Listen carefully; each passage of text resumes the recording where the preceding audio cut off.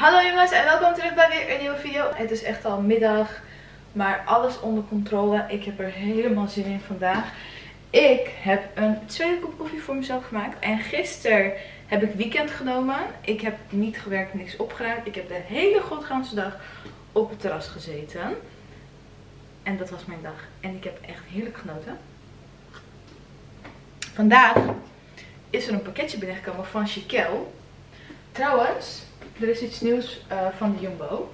Laat ik wel eerst even zien. Jumbo heeft eigen merk haver, soja en kokosmelk volgens mij gelanceerd. Dit komt van de koelschap. En ze hebben volgens mij ook yoghurt. Die ga ik binnenkort wel even proeven. Ik heb nu echt alleen dit gekocht. Ik vind hem niet zo lekker als de Oat Barista van Alpro. Die vind ik wel echt veel lekkerder en meer creamy en zo. Maar dit is uiteindelijk aan het einde van de dag iets gezonder. Er zitten minder calorieën in, minder vetten en zo volgens mij. Misschien ook niet. En dit is natuurlijk goedkoper. Dus ik dacht ik ga hem proberen. Ik vind hem wel lekker in mijn koffie. Maar het is niet de beste one. Maar goed, wat ik dus net zei was... Chiquel is binnengekomen. En ik ben echt maximaal enthousiast. Want ze hebben echt een heel leuk jurkje meegestuurd. Want weet je hoe dat gaat bij Chiquel? Als ze willen dat je echt 300.000 links doorstuurt van je favorieten. En dan sturen zij altijd vier items op. Dus je weet ongeveer wat je krijgt, maar eigenlijk ook weer niet. Want ze vragen best wel veel links van je favorieten. En dan heel vaak vragen ze zelfs extra links als dingen snel uitverkocht raken. Nou, geen idee. In ieder geval, ik heb nu vier dingen. En ik ben echt maximaal enthousiast. Ik heb als eerste een super roze jurkje. En ik zat ernaar te kijken en ik twijfelde eigenlijk om een andere kleur te kiezen. Uh, want ik heb vroeger bijvoorbeeld echt extreem veel... Dit is... Dit is bijna een hemdje trouwens. huh? Dit is heel kort. Dit is oprecht net een hemdje. Maar goed, laat maar gaan. Het is zomer. Maar volgens mij schijnt deze ook echt enorm door. Oh ja. Oh jezus. Oh mijn god.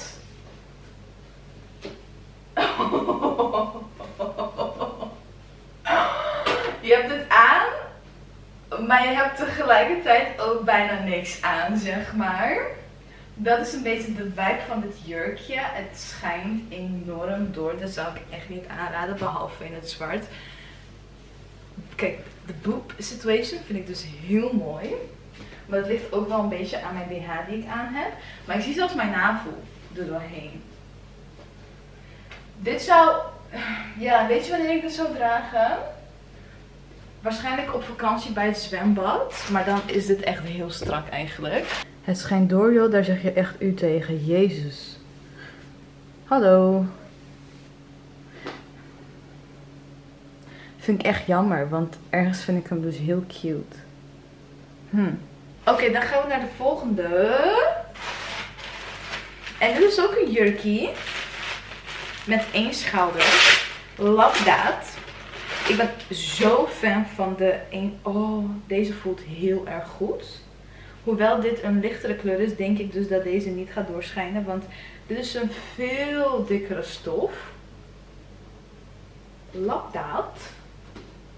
Want dit stofje is echt super, uber, uber dun. Oh nee, deze schijnt ook door. Maar echt zoveel minder dan die roze. Dit zou ik sowieso met um, zo'n BH dragen zonder bandjes. Oh, alles gaat fout. Ik vind deze wel echt heel erg mooi hoor.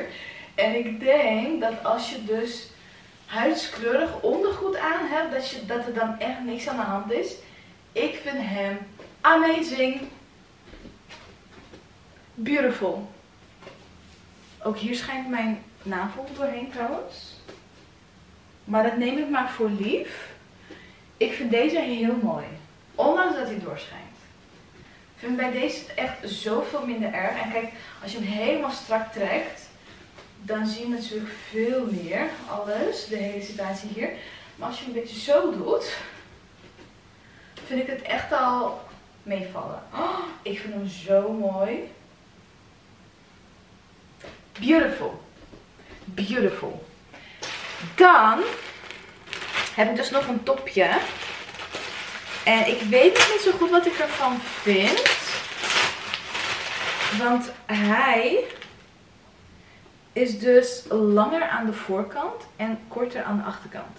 Nou, zoiets heb ik echt nog nooit gezien. Dus ik dacht, moet ik hebben. Oké. Dit is hem aan de voorkant. En dit is hem aan de achterkant, zie je? Wat is dit nou? Dat moet ik eruit knippen. Is dus echt flink stuk korter. Het is echt op dat randje van mijn BH eigenlijk.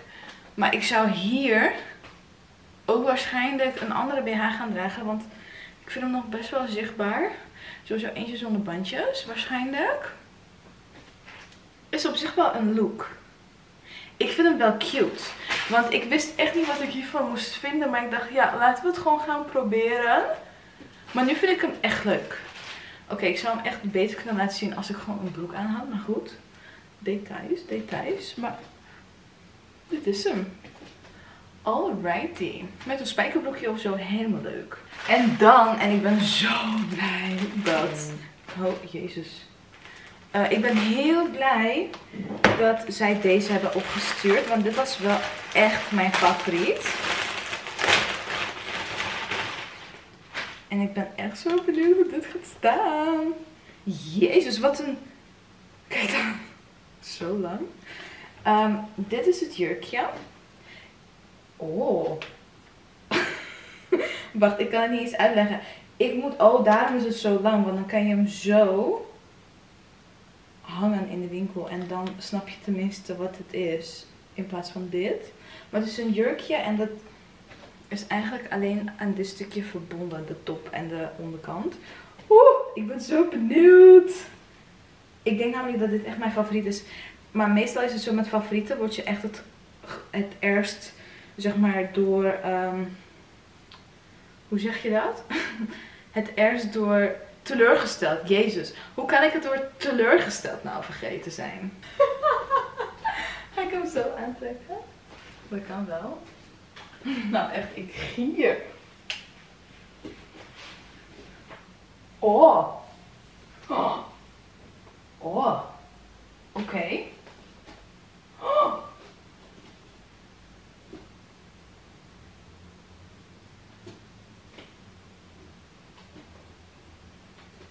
Ik vind hem echt heel mooi. Ik ga deze dingen er nu direct afknippen. Kijk dan. Niet normaal toch? Ik vind het zo mooi. Echt heel mooi. Zal ik dit nog dicht doen? Of is dat heel erg Moekvastra? Of gewoon zo open laten? Ik ben verliefd. Ik vind dit heel erg mooi. Wacht, ik doe even een rondje voor jullie. Oh mijn god. Oh mijn god. Oh mijn god. Ik ben zo blij. Ik vind hem zo mooi. Wauw. Echt die troep op de achtergrond. Sorry jongens, ik ga wel weer een andere keer opruimen. Hij is misschien een beetje te klein zelfs. Kijk, zie je? Toek. Oh my god, ik heb weer een klets-up gefilmd. En met deze make-up en dit jurkje kan ik echt de hele wereld aan vandaag. Echt, I love it.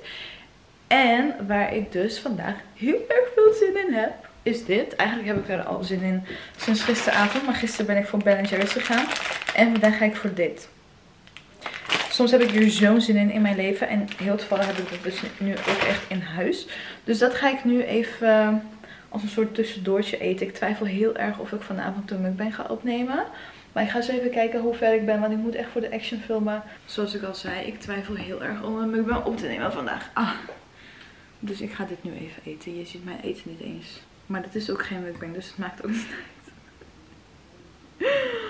Oh, ik heb echt lang geleden niet zo'n filmdagje gehad.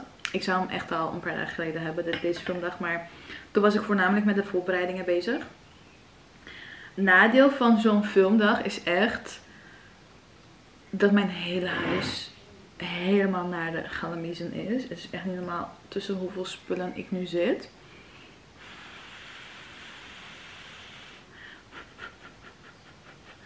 Dit soort noedels moet ik echt niet vaak in huis hebben, man. Want ik vind het zo lekker.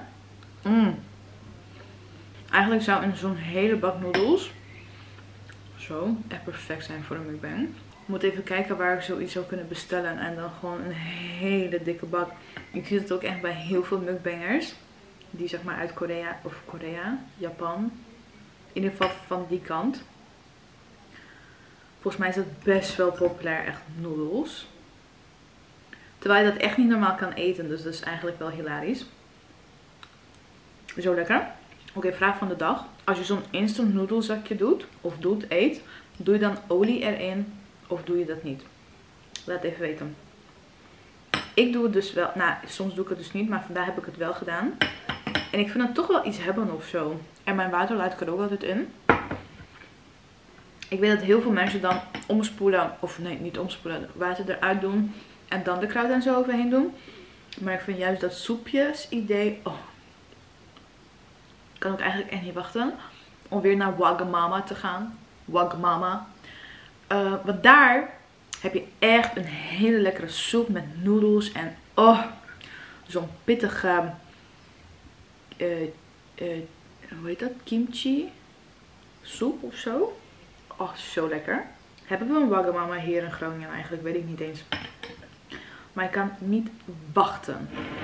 Ineens, nu ik erover heb, heb ik echt zo'n craving naar die soep. En ik hou niet eens van pittig eten, maar die Zo lekker. Echt zo lekker. Trouwens, ik heb dit jurkje aan. Ik vind hem zo leuk. Ehm, ik heb ook, altijd als ik zeg maar Chiquel kleding laat zien, heb ik ook altijd een kortingscode. En die staat dan ook in de beschrijving. Met linkjes. En die kortingscode is altijd maar 5 dagen geldig volgens mij. Ik ging ehm, van die uh, video's kijken over skincare. Uh, en er is zeg maar zo'n jongen. En hij is echt best wel goed en duidelijk in wat hij allemaal vertelt. Hiram heet hij volgens mij. Hiram. Zoiets. En hij heeft dus iets geadviseerd. En ik dacht dus dat het alleen via de officiële website te bestellen was. Maar ik zag het dus ineens bij Look Fantastic. Dus ik dacht, oh, ga ik even kijken. Want het is zeg maar voor littekens. Echt, dit is dus het licht van mijn uh, afzuigkap. En ik vind het licht echt super. Oké, ik heb als eerst heb ik deze. Deze is ook van La Roche-Posay. Laatst heb ik allemaal dingen van hun gekregen. Maar dit is de B5 lijn en dit is echt heel erg mild. Uh, dit kan je echt voor alles gebruiken. Het is antibacterieel en ik vind het heel erg chill, want mijn huid trekt echt totaal niet als ik het gebruikt heb. Wacht, je ziet mijn ogen niet eens. Dit is een fantastische hoek. Hallo. Dus deze. En ik heb hier eindelijk een grote verpakking van. Je hebt er dus ook een balsem van. Of is het een zalf? Nee, het is een balsem. En dit heb ik dus een keer in een perspakketje gekregen. En dit is denk ik al de vierde tube die ik erbij koop. Ik gebruik het ook heel vaak als nachtcreme gewoon. Het is echt heel goed voor super gevoelige huid.